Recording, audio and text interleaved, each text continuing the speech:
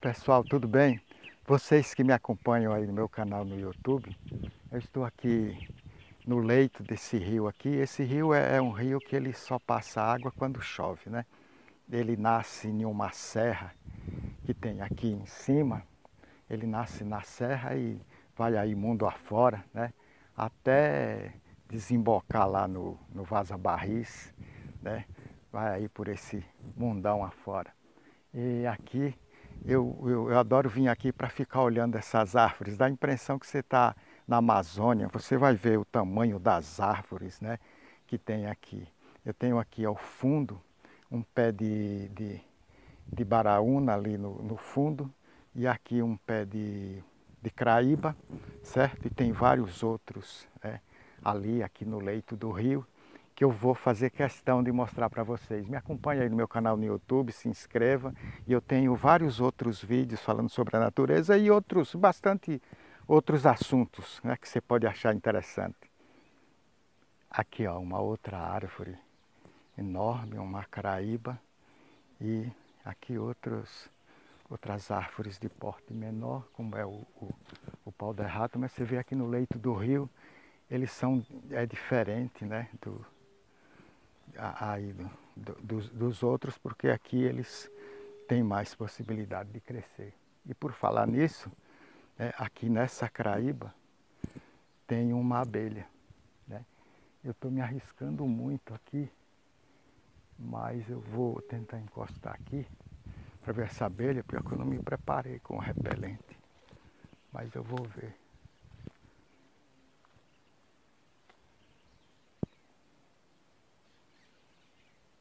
E essa abelha não é uma italiana não. Não sei que abelha é essa, acho que é um, um saranhó. E eles já me, me perceberam aqui, já estão em cima de mim. E para informação de todos, estou caindo fora. Ele, é perigoso ele entrar em algum orifício, né? Porque o ouvido ou coisa assim, porque na verdade essa abelha ela não tem ferrão ela só embucha no cabelo, é uma confusão monstra. Eles me perseguiram aqui, mas eu estou, digamos assim, quase acostumado. Mas essa abelha ela não tem ferrão não. Aqui ó, outros pré, outros, outras árvores aqui, outros pés de, de craíba, né? E aqui, bem no, no, no pé dessa craíba tem um, um poço, um poço d'água, certo? Falar em poço d'água, eu vou mostrar outros ali na frente. Aqui tem esse poço d'água aqui, que os animais vêm beber água, se dá para ver que tem, né? Os animais já andaram por aqui bebendo água. As vacas, as cabras, as ovelhas do sertanejo que moram aqui na região, que são donos dessas, dessas propriedades que criam aqui os animais. Opa! Aqui ó, tem outras, outras caraíbas aqui, outras árvores, né? Essa aqui é um pouco menorzinha, mas ali eu vou te mostrar uma bem grandona. Que árvore maravilhosa. Né? Essa é a caraíba. Nossa caraíba é uma madeira muito especial. Uma madeira muito boa. Cortaram muitas, né? É, tem algumas aqui até que já foram cortadas e se criaram novamente, porque isso é uma madeira muito boa, a caraíba. Né? Mas graças a Deus ainda tem essas aqui, né? é muito bonita. Parece que você está né, na Amazônia vendo umas árvores dessa, dessa, dessa, dessa grossura. Né? Deixa eu ficar bem, chegar, chegar bem pertinho dessa aqui, para você ter ideia do, do tamanho que ela é. Olha só. Olha essa árvore aqui, ó. ó. Você vê? Dá pra ver, ó? Dá pra você sentir o tamanho que é. Eu vou medir aqui em palmos. Um, dois, três, quatro, cinco, seis, sete, né? Cinco palmos meu seria já um metro, né? Ela tem mais de um metro, então ela tem aqui assim em, em diâmetro uns dois metros, né? Beleza, né? árvore maravilhosa. Essa é uma, um, a gente fala que é um pé de craíba. Olha a mostra aí, beleza. Só para mais uma vez situar você, eu quero dizer que eu estou no leito de um rio, né? Aqui no município de Canudos. Então eu estou aqui no sítio Tomás, né? Aqui onde eu estou nesse rio aqui é o sítio Tomás que faz divisa, divisão com, com a fazenda Juá, o povoado de Juá, é, é, fazenda Sussuarana, esse rio aqui, ele divide, ele nasce lá em cima, na serra, numa serra que tem aqui em cima, e aí vai aí, vai. Eu acho que ele vai sair no, no Vaza Barris, que alimenta o açude do Cocorobó. Eu não tenho certeza absoluta disso, sei que ele desce aí para essas bandas, né? Mas depois no comentário o pessoal da região deve comentar aí, eu até peço, e, e aí ele pode, pode falar sobre isso. Estou aqui no leito desse rio que não tem água porque aqui só passa água quando chove. Mas não se engane não, viu? Ele, ele passa aqui, entendeu? Aqui na copa dessas árvores aqui. É um rio violento quando chove. Eu já tive a oportunidade de ver. Aqui outra árvore maravilhosa, outra craíba, certo? Vamos se aproximando aqui. Essa é uma árvore bastante grande também, né? É, que sombra maravilhosa. E vocês podem ver ali, ó, ali ao fundo, tem umas pedras.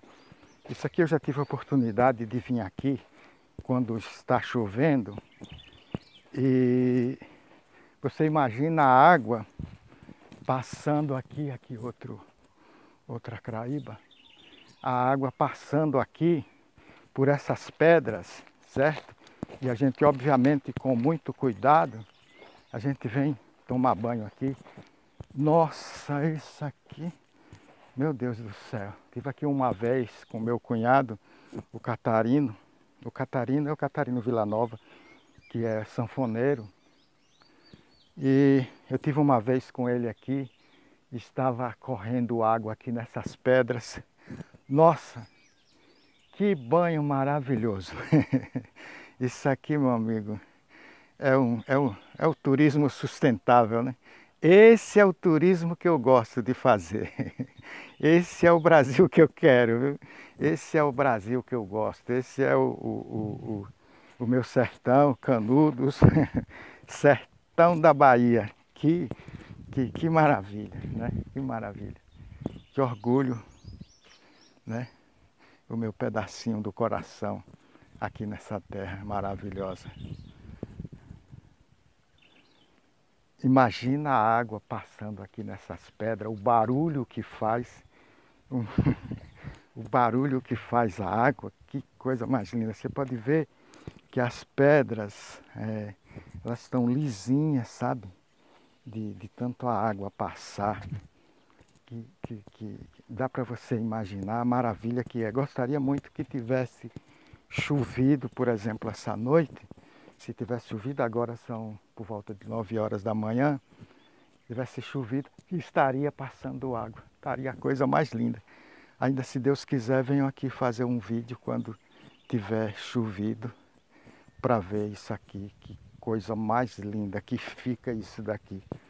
Que coisa maravilhosa. Por falar nisso, eu estava vindo aqui e não deu para pegar, não deu para filmar, mas tinha algumas algumas caças aqui que eu não sei se era preá, se era mocó, se era cutia. Eu sei que eles fugiram, não deu tempo filmar. Deixa eu te falar sobre uma coisa. Você vê aqui no leito desse rio, essa areia aqui é o que a gente chama na construção de areia lavada. Esse rio aqui, Aqui nós estamos a uns 50, 60 quilômetros da cidade de Euclides da Cunha. A cidade de Euclides da Cunha, pelo menos é, 50, 60 ou 70% da cidade que hoje tem Na cidade deve ter aí por volta de uns 40 mil habitantes e o município todo tem quase 70 mil habitantes, são 60 e tantos mil, mil habitantes. Na cidade eu não sei quanto que é, mas deve ter pelo menos uns 40, certo? Com prédios maravilhosos, lojas, é uma cidade muito, eu quis dizer que é uma cidade muito linda e com uma rede hoteleira maravilhosa, sabe? Uma cidade maravilhosa para você fazer turismo. E a maioria dos prédios daquela cidade foram construídas, certo? Com areia desse rio aqui. Né? Nós estamos aqui a por volta de uns 60 quilômetros da cidade de Euclides da Cunha, mas eles vêm buscar areia aqui. Muitas vezes eu vinha para cá, ah, e aqui para casa do meu sogro, e voltava, às vezes vinha e voltava de carona dos, dos caminhões que vinham pegar areia. Naquela época era muito difícil condução, às vezes não tinha ônibus, certo? Muitas vezes eu, eu, eu, eu vinha e voltava de carona dos caminhões que vinham pegar areia aqui. Isso é um registro que, é, que eu tenho o prazer de fazer para você ver o que é a riqueza de uma região que muitas vezes as pessoas não se dão conta. Você está ouvindo aí, né? Os papagaios tem aqui na região. Papagaios passaram aí fazendo um barulho. Coisa mais linda, né? Este arbusto aqui coloca essa, essa frutinha aqui, é muito gostosa. Né? Aí eu agora não estou lembrando o nome, rapaz, deste, desta árvore aqui, que coloca esse fruto aqui. Você vai pensar que é outra coisa, mas não é.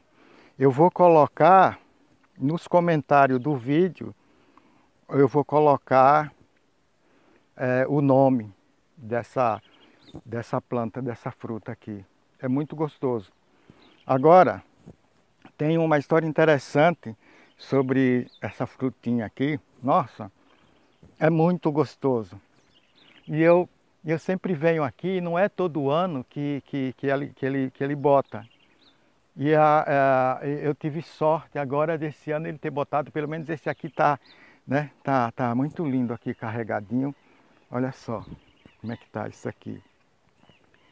E, e eu estou tendo a oportunidade de fazer esse vídeo aqui. É, é muito gostoso. Eu não lembrei o nome.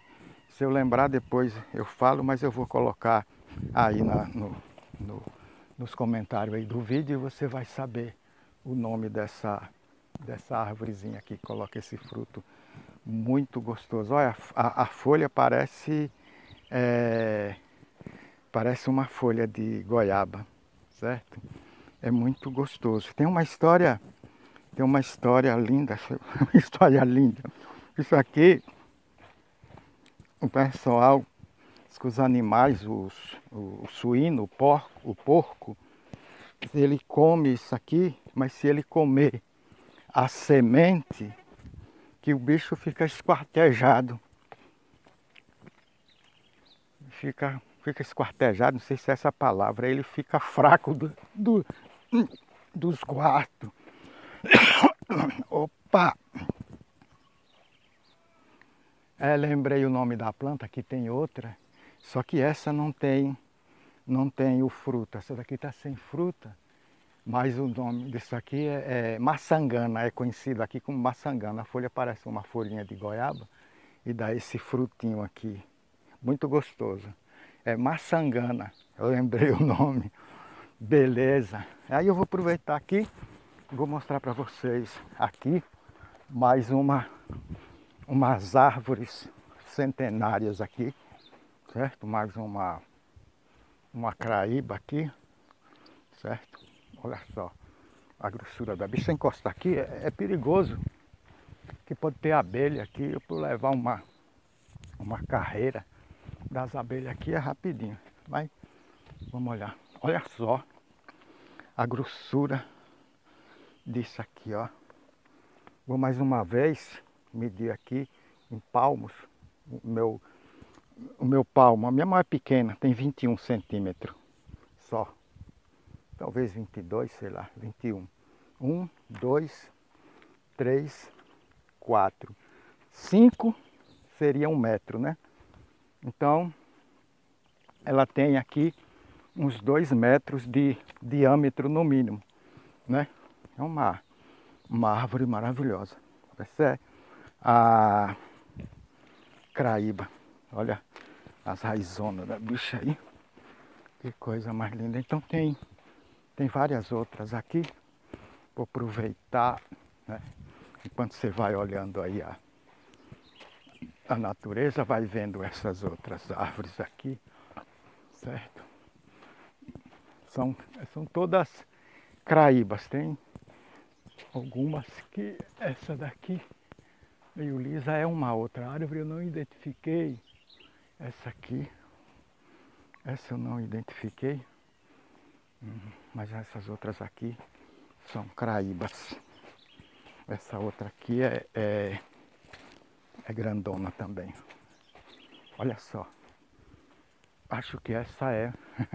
essa daqui tem uns 4 metros de diâmetro. Né? Tem uns 4 metros de, de grossura, de diâmetro, como você quiser. Certo? É enorme.